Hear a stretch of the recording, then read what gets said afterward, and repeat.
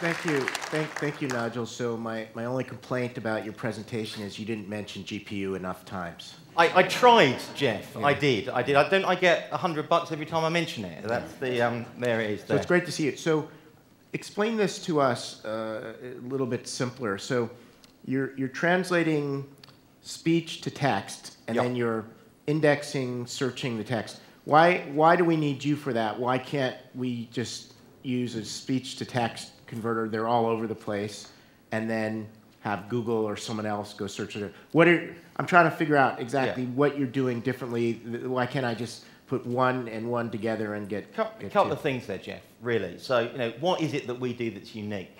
Uh, the first thing is most of what we do is actually on premise for people.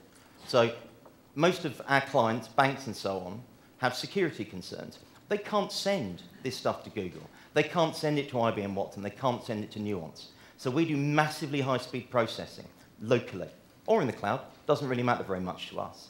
The second thing is the smart transcript is actually generating a complete replacement for the MP3 file. So that means that you, when you're on the phone to uh, our customer interactions guys who we were talking to earlier, after that call finishes, you get an email, and the email has got the smart transcript. You double click, you can see what was said in that call. And it means you can index that. Imagine that you can actually leave that on your file system, type it into your local search, and bring that file back just using the text. No one else is doing this. What about languages? Like uh, many of these uh, nuance type solutions support 30, 30, 40 languages. How are you going to do that? How long is that going to take you and how expensive?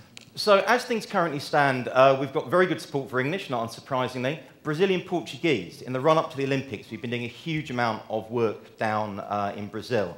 French is another one. Our head of research is French, so it's hardly surprising. Uh, we're also doing German and Spanish at the moment. Japanese is coming through.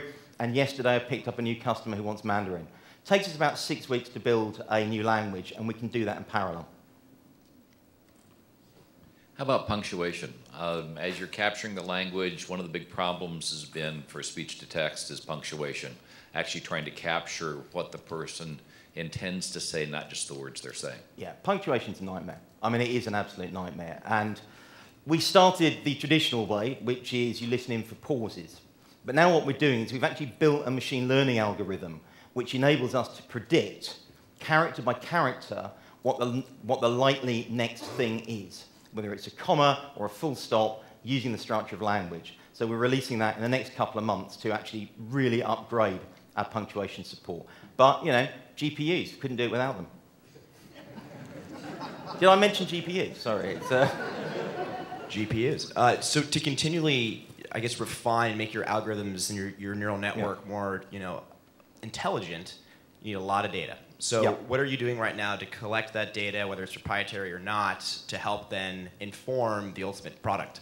So data comes in two types. We've got the, the raw audio data, and then we've got transcription. So we use a combination of pre-transcribed data, some of which we collect, some of which uh, is available for free on the web, even things like podcasts. Um, there are radio stations which allow people to use huge amounts of this stuff, but also unsupervised now as well. So the ability to actually, the neural net is good enough now, you can feed it raw audio data and feed it from the output with what it's confident and send it back round again.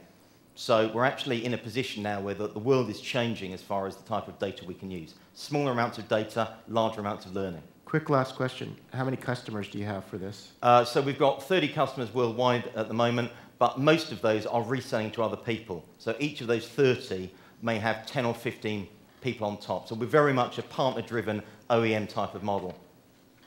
Nigel, thank you. Thank you. Thank, thank you very much, everyone.